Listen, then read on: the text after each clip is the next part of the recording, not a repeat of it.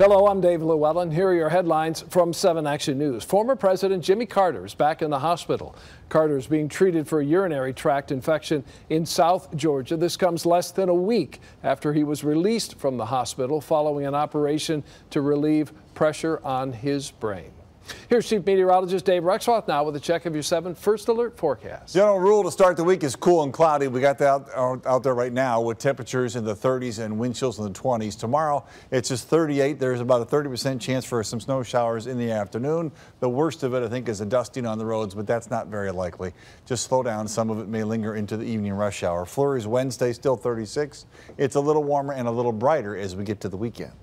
All right, Dave, thanks. A man locked up in Detroit is charged in the death of his own brother. The victim and two others went to pick up the suspect at the Cranbrook Motel on James Couzens Thanksgiving Day.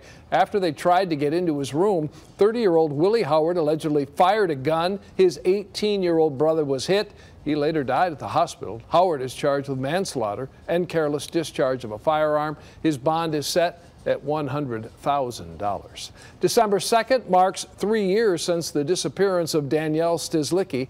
The Farmington Hills woman vanished on December 2nd, 2016 after leaving her job at MetLife in Southfield. Her whereabouts are still unknown, but a former security guard at her office is charged in her murder. 32-year-old Floyd Galloway is accused of killing Danielle in his Berkley home.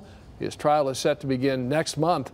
Galloway is currently serving time for the attempted rape of a jogger in Hines Park. Those are your 7 Action News headlines. We have these stories, much more on our website, WXYZ.com, and on our app. Have a great night.